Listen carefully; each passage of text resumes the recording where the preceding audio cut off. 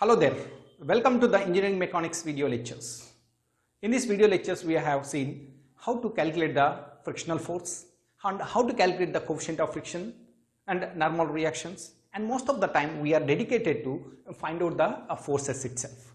Now we can see in this problem rather than going in the type of the text and all and I am trying to explain to you and how to do it so that you can practice on your own so that you will also get it the, the important information and how to solve this the uh, problems of uh, the frictional force.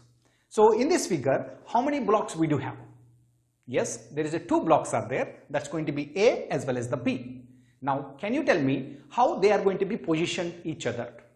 The A is going to be positioned on the floor that's going to be rested on the floor which is going to be have a friction right and similarly the B is going to be rested on a A right? And then there is also the friction is going to be existed right? And then what happened? I was tried with the a rope between block A to the vertical wall. Then I can say that's going to be your rope BC is going to be your rope. That length is going to be the BC I'm going to be saying and same time the force applied force P is going to be applied at on the block A which is going to be acting horizontally towards the left side. So then it is going to be clear that the member is going to be what are the things is going to be composed of. Now when the applied force is going to be existed and the block A is going to be trying to move towards this side. Whenever I am going to be considering the frictional force then what will happen that is trying to opposing the motion of the body then the A is going to be moving towards this side and your frictional force is going to be develops in the contact of with your floor as well as to your body B. So now we can see by using this one can you see WB is going to be the self weight of your block B, WA is going to be self weight of your block A. And the TB is going to be TBC is going to be tension existed in your string while you are pulling this object in this direction. And the coefficient of friction is going to be existed between A as well as the B and the coefficient of friction existed between your A as well as the floor I can say mu AF I am going to be considering. Now what is our next step and how we are going to be solving unknown parameters either the P or the frictional force or maybe the tension or the normal reaction right. So presently I am going to be taking the first and foremost is going to be the free body diagram. Should I take A or B? So this is my selectively I am going to be choosing. If I am going to be taking A, then what happened? Unknown parameters are going to be very huge number. So then what I am going to do for the simplification of the mathematical equations, I am going to be taking B is going to be the uh, free body diagram for the first case. So that is going to be free body diagram for the body B that is the block B. So then what I am going to do and I already analyzed the B is going to be rested on A and tied with the rope. So that I am going to be removing this two, right.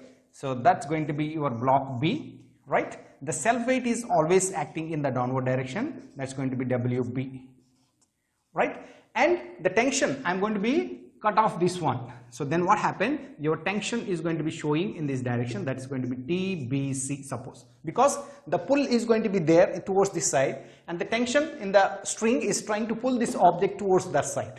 So that is my assumption here. So then what happened? The tension is going to be developing here. And what is there? And I am going to be removing your block A. So then the reaction force is going to be coming from the RNA suppose. Okay? So then what is else is there? This block is going to be b is trying to move towards this side. And this block is going to be trying to move towards the left side. So then in this case the contact force is going to be that is the frictional force is going to be developing. It's trying to opposing the motion the block b is trying to move towards this side and this force is going to be towards this side. So that's going to be your the frictional force. R and i'm going to say.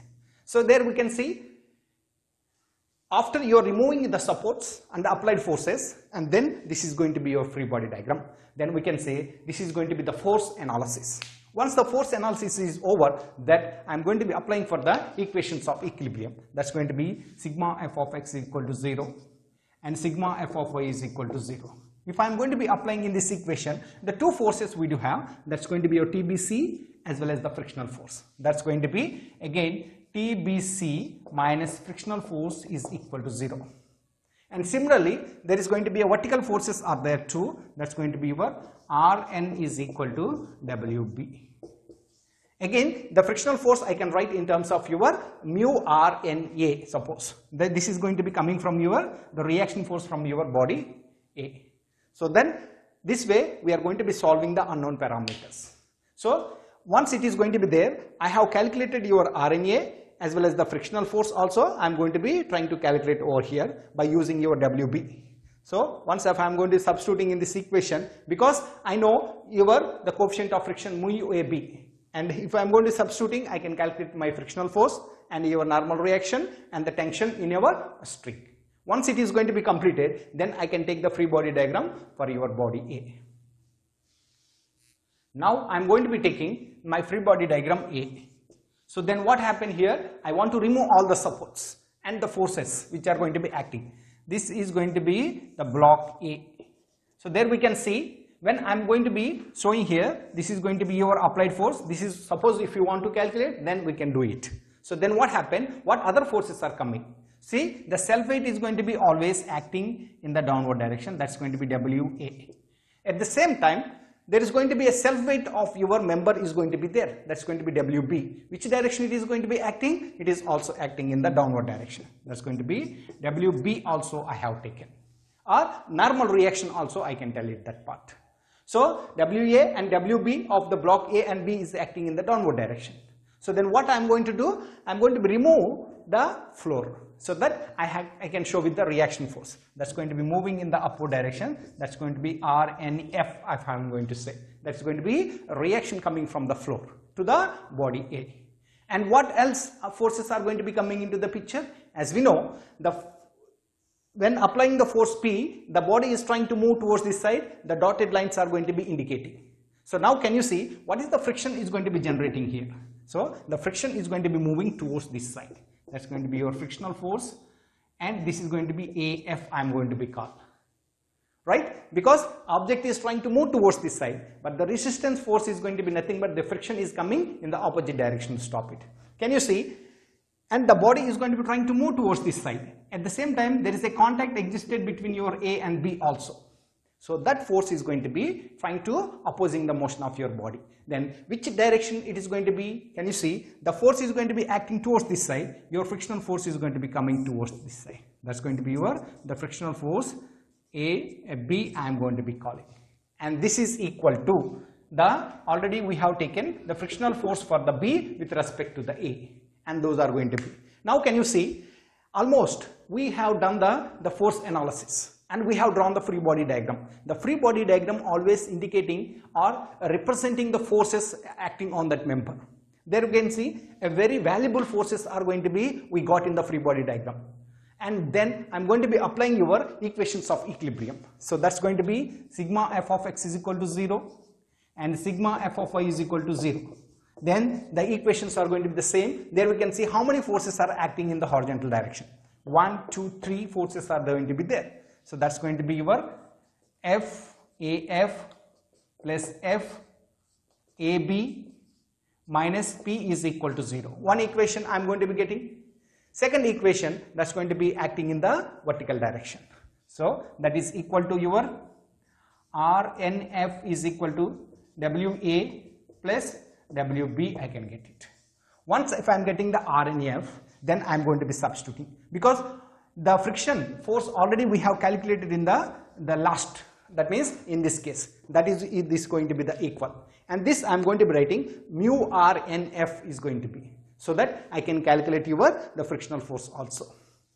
I hope you are able to understand the concepts how to draw the free body diagram. Most of the time the engineering mechanics is going to be existed in your free body diagrams. Once you know the free body diagram how to draw, then equilibrium equations we are going to be substituting, then finally we are going to be solving. Okay, then I hope you are able to understand. Still you feel any confusion or still do you want the more input regarding this solution, I can help you. If you put in the comment section so that I can reach out to you. Thank you.